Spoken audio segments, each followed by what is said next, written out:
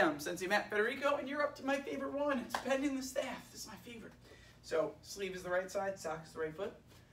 Step up, left foot, windmill parry. So windmill is left parry, right parry. Left, right. Left, right. I'm doing too fast. Left, right. Now re-grab with the sleeve. Sock foot's gonna kick. Side kick, land back with the sock.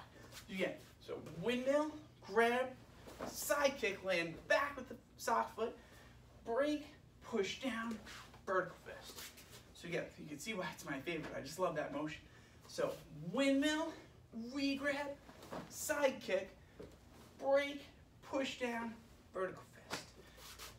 Windmill, grab, so left, right, right grab, right side kick, left palm, left push down, and the sleeve does the punch.